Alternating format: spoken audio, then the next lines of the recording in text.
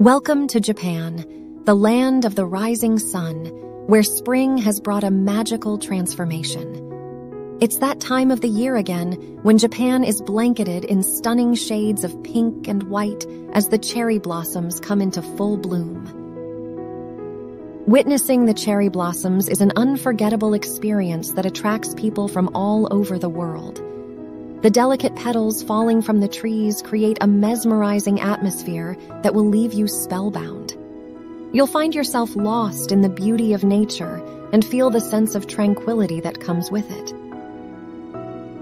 Whether it's walking under a tunnel of cherry blossom trees or taking a boat ride along a river with cherry blossoms lining the banks, every view is a sight to behold. The ephemeral beauty of cherry blossoms is a reminder of the fleeting nature of life and how important it is to appreciate the present moment. Admiring cherry blossoms in Japan is an experience that should be on everyone's bucket list. It's a magical time when the country is transformed into a sea of pink and white.